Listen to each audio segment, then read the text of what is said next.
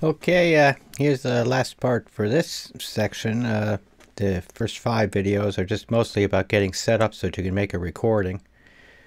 And uh, we're going to show you how to set the recording up in the settings for uh, the encoding settings in here. So let's go ahead and switch cameras. And by the way, you'll notice, by the way, that my video, that this video you're looking at here is kind of slow. Yes, you noticed it was kind of slow. It's because Cam Studio is recording a program that's recording something. Okay, so we're talking about pushing our luck here in terms of uh, operations. So I'm going to stop the preview and uh, give uh, Cam Studio a little bit of a break. Although it's it's it's not struggling that hard. But heck, I'm my actual input rate here is only like four frames a second, so no wonder. Let's see what happens when I stop the preview. Let's see if it jumps up a bit. Oh yeah, it's jumping up already. It's five, six. Yeah. So anyway, uh, it's adjustable frame rate. All right, but anyway, so we're going to go into settings here, and you'll see that we're in a 1080p uh, profile right now. You can remove this profile. You can type in here and rename it. If I add a letter, the rename thing shows up. I can go in here and create, uh, I can pick a profile that I want to edit. Okay, so let's say we're going to do the this test 721.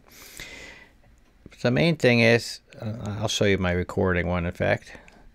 Uh, main thing is, do you want to give the thing a name and you do that by if you don't have one you just start typing a name for the next one and hit add and that will create a fresh profile that you can then make changes to. But I've got one already set up for record to disk so I'm going to show you some settings using that one. Okay so the main thing is that your encoding needs to be right. Now YouTube likes CBR to be turned off, whereas Twitch TV and Justin TV and some others like the constant bit rate to be turned on.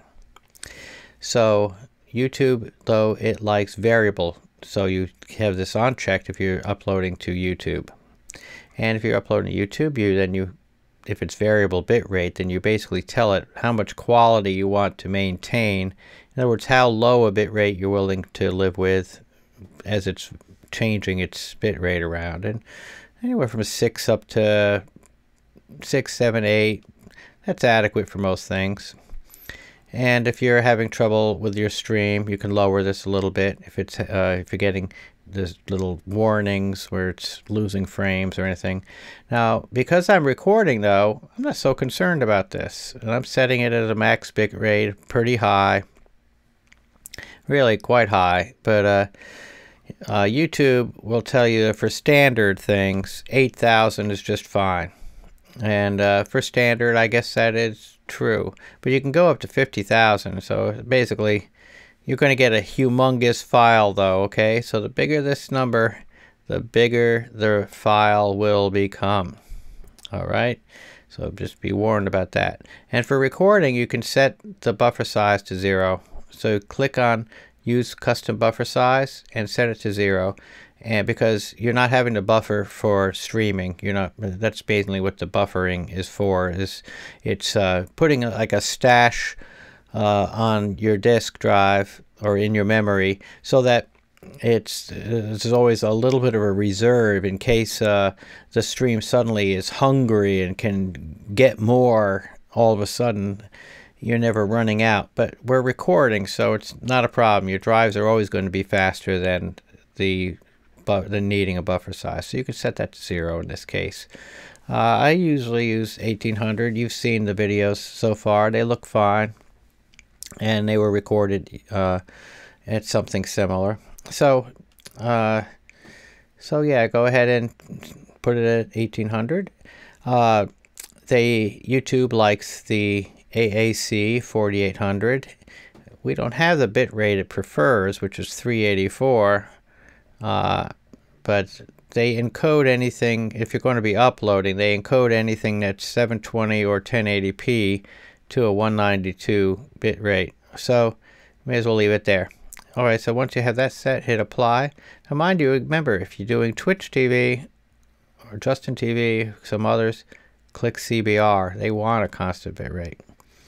But uh, if it's YouTube, uncheck it and put something in the quality balance. Broadcast settings, you're going to select file output only because we're not streaming. Okay, and then you hit browse and you select a folder where you're going to put things. You might want to make one if you're in your My Videos folder. Then create a folder, perhaps OBS video recordings like I did, and put your, you know, select that as the folder where you're going to put things in, like I did here. Okay. You give it a root name, recording obs.mp4, and it will then give them numbers. So here, recording OBS MP4. Let's go again into my, uh, oh, I don't know what the heck happened here. All right, browse. Oh, and lost my, lost that setting. So let's go back into here, my videos, and the OBS video recordings.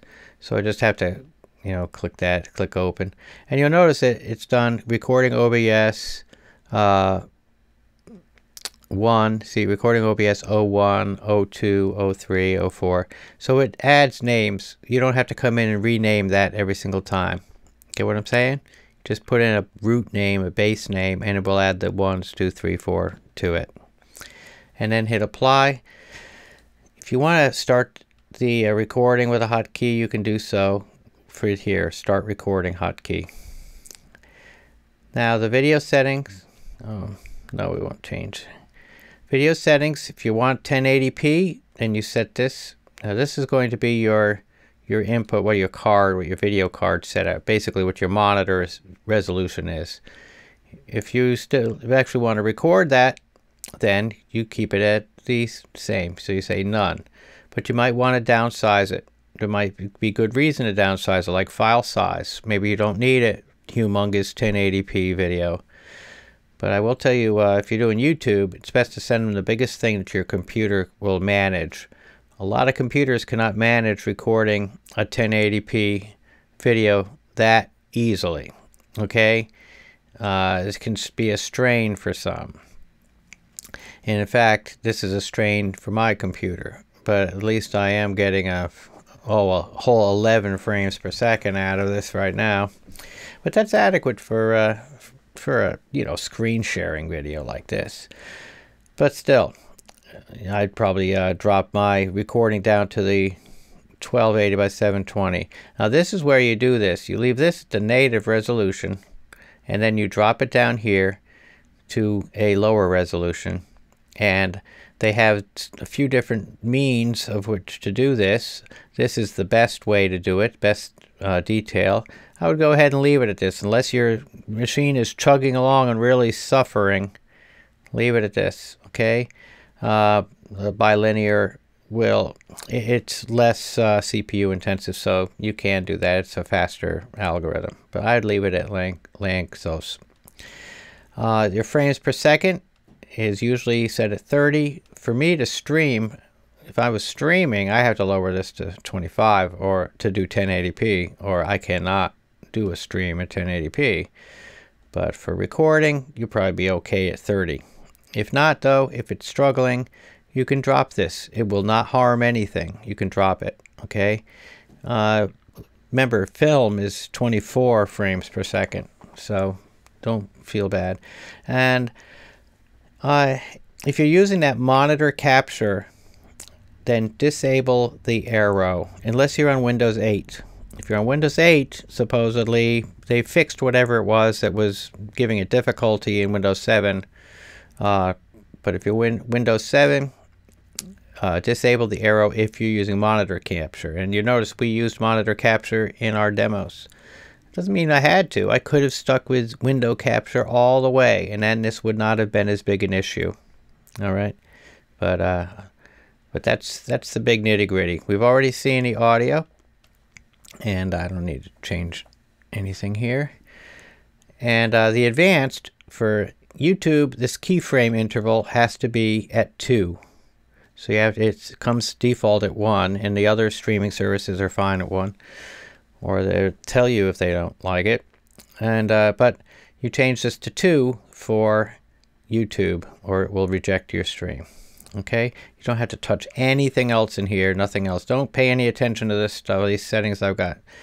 Well, okay, you can pay some attention. If you if you do what I've done here, use CFR and have the custom encoder settings at 18. This is how you control whether it's going to be uh, whether it's going to be like lossless or not, or if it's going to have some some other stuff. So this is not uh, CRF. This is not CFR. CFR is constant frame rate, where you're trying to hold at 30 frames a second the whole time. But CRF is different, okay? And I can't remember what the darn word stands for at the moment, but it's not the same. So remember, this is CFR, this is CRF, and it allows you to change the quality setting so that it, you're not trying to push out a whole lossless, but you're not doing that much compression either. So 18 is recommended by a lot of people for doing uh, recordings to disk. And so go ahead and try it. You can up it to 19, 20, 21, 22.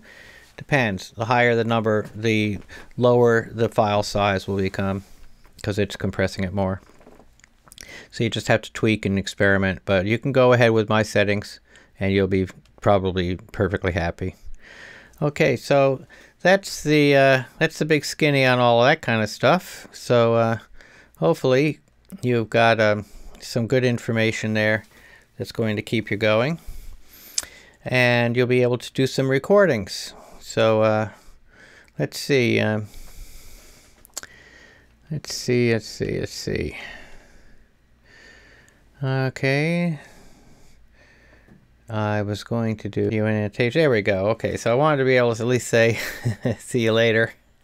And uh, this Cam Studio comes with a little uh, little device lets me let me do, lets me do an insert. So there you go. So hopefully after these five videos, you're now at the point where you can get the audio in. You can create a scene, several scenes with different cameras, different windows, and you're equipped enough to start experimenting and not be afraid of the basic interface, which as you see is very right click oriented, a lot of right clicking, and and it has a lot of possibilities.